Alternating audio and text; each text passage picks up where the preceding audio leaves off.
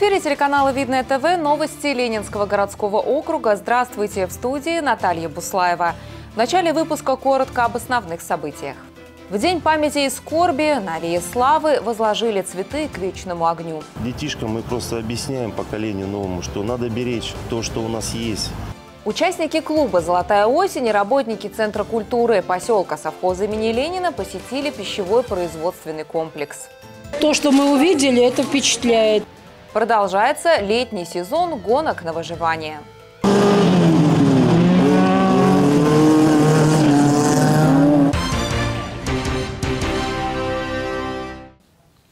22 июня по всей России приспускаются государственные флаги. В учреждениях культуры, на телевидении и радио в течение всего дня отменяются развлекательные мероприятия и передачи.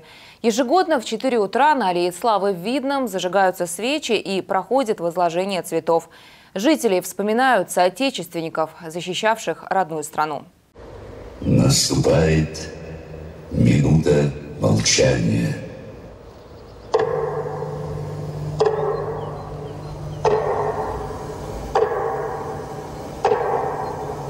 Ровно 80 лет назад по советскому радио прозвучали слова Вячеслава Молотова, изменившие жизнь каждого жителя.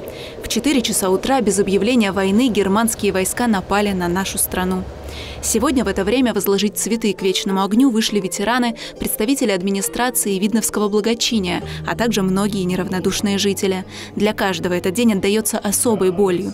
В любой семье есть свой герой, ушедший на поля сражений, а вернулись не все.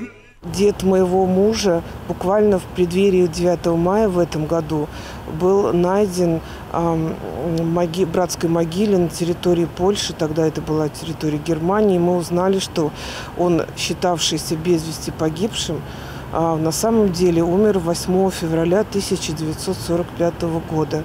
Для многих людей страшное слово «война» известно лишь из учебников истории и рассказов родных. А Владимир Песоченко – непосредственный участник боевых действий на Северном Кавказе. Сегодня он руководит Ленинским отделением боевого братства и знает, как важно, чтобы новые поколения не забывали о подвиге советского народа. Кто столкнулся с войной, тот понимает, что это, как говорится, выцарапано, выцарапано на наших сердцах, памяти о того, кого мы потеряли. Детишкам мы просто объясняем поколению новому, что надо беречь то, что у нас есть, и дорожить то, что нам дается. Это самое главное – любить друг друга и, и любить ближнего. После возложения цветов к вечному огню дети войны почтили память погибших, запустив по воде венок со свечами. Этой традиции уже 15 лет. Это очень хорошая традиция.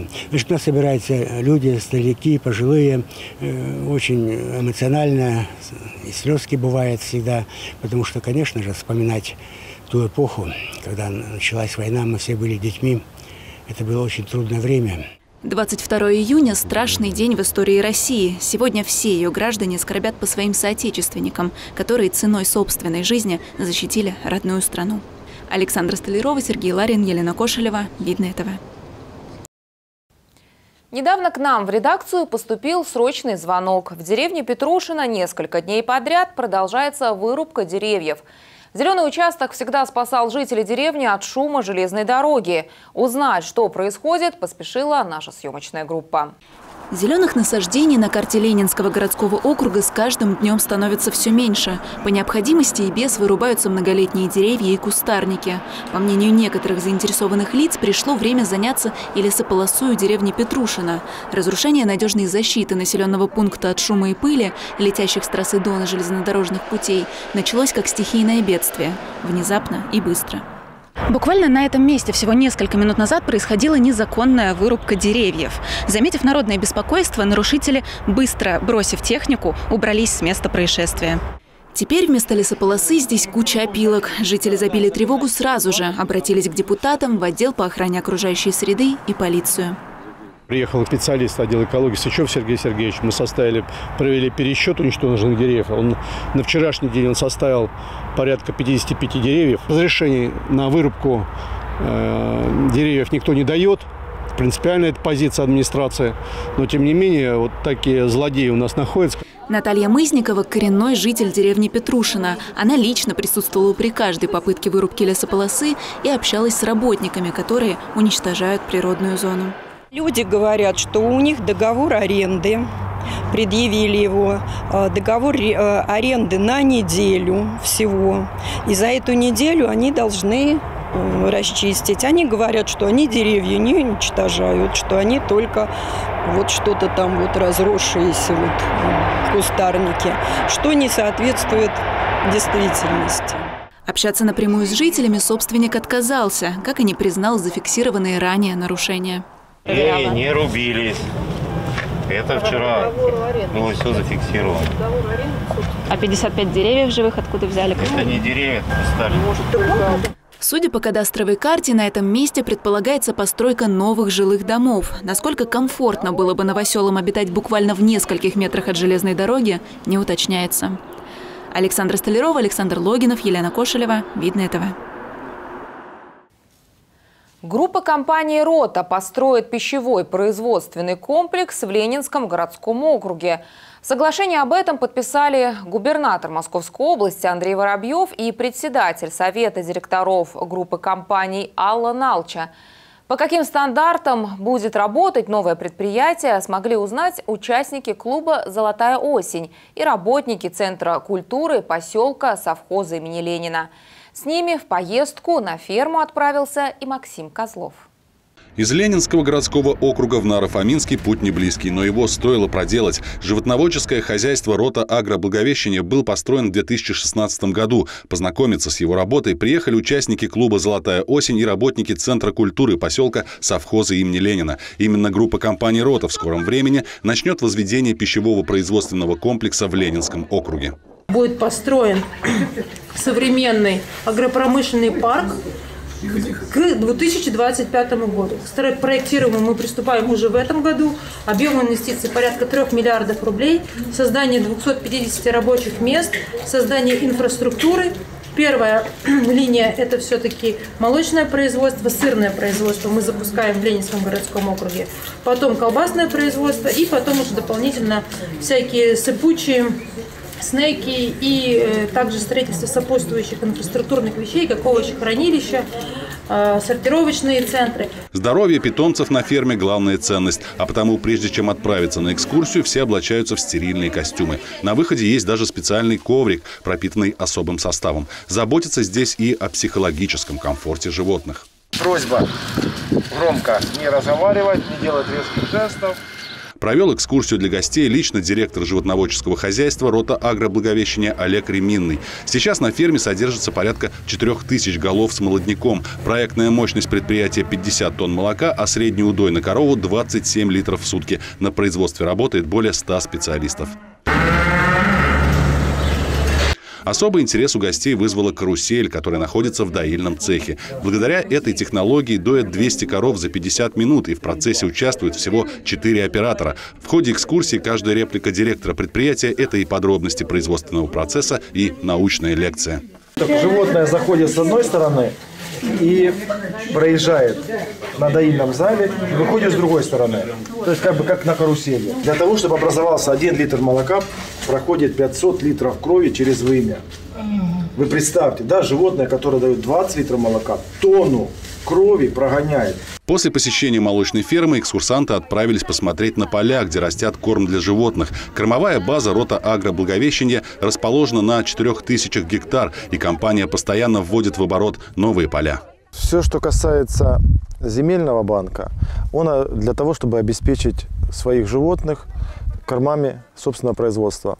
Сенаж, сила с кукурузной э, и концентрированные корма ячмень, пшеница. Вот мы сейчас, видите, стоим на, на поле возле гороха.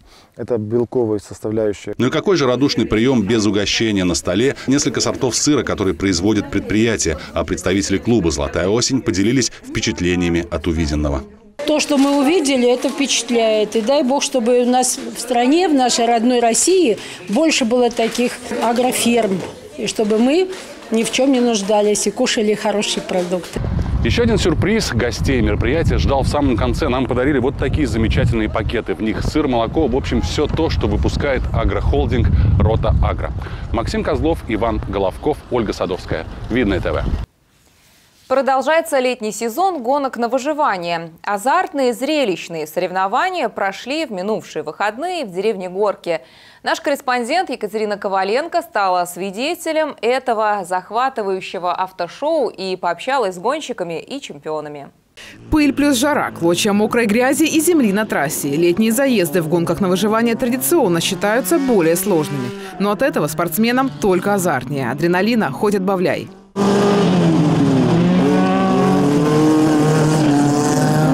Для гонщика из Москвы Андрея Березкина нынешние соревнования стали возвращением в этот спорт после долгого перерыва. Для заезда он специально приобрел автомобиль. За плечами почти неделя подготовки в гараже. К сожалению, не обошлось без технических проблем, но своему дебюту спортсмен рад. Настрой аж, аж мандраж. Трасса прекрасная, единственное, что вот подсыхает очень быстро и начинает сильный пыль. Так, трасса интересная. Ну, мне вообще 15 лет не гонялся, поэтому я так с удовольствием. Всего в соревнованиях приняли участие 9 пилотов из Видного, Домодедово, Москвы и Новомосковска. Для летнего такого мало малочисленного этапа. Очень классные заезды были, обгоны, там борьба. Я вот там веду трансляцию ВКонтакте в группе вот там с дальнего угла. И прям э, одно удовольствие комментировать. Прям есть что рассказать. А то бывает выстроились и едут по одному. А сегодня прям и лидер во втором заезде менялся три раза. И в хвосте гонки тоже были обгоны. Ну, интересно. Правила просты. Несколько предварительных заездов, утешительный и апогей, финал. Проявить спортсмену надо не только в скорости, но и в умелых маневрах и смекалке скакалки. Трасса всегда полна сюрпризов, и прогнозировать что-то невозможно. Чем хороши гонки на выживание, это ты можешь ехать быстрее всех на голову, но тебя просто уберут в первом повороте и все. И это как бы до, до, до, вот до когда двое остаются, вот до этого момента все время держат в напряжении. За рулем одной из машин была и супруга Сергея, Юлия Соколова. Но вот поблажек от соперников гонщицы на болиде с надписью «Девочка» никаких, даже от мужа не дает, не выступает для того, чтобы у меня был какой-то азарт и, как это правильно сказать, желание, что ли, бороться. Вот. Поэтому нет, пощады мне нет. На машине под номером 88 победитель предыдущих гонок Антон Рыжиков из Новомосковска. В перерывах между заездами мы поинтересовались у чемпиона секретами успеха. Удачи, больше ничего. И надежная машина. В принципе, все. Эта формула сработала и сейчас. Антон Рыжиков стал обладателем золота. Призы за второе и третье места достались пилотам из Домодедова Сергею Соколову и Даниилу Глухову. Екатерина Коваленко, Александр Логинов, Ольга Садовская. Видное ТВ. Это вся информация на сегодня. В студии была Наталья Буслаева. Я и мои коллеги желаем вам только хороших новостей. Всего доброго и до свидания.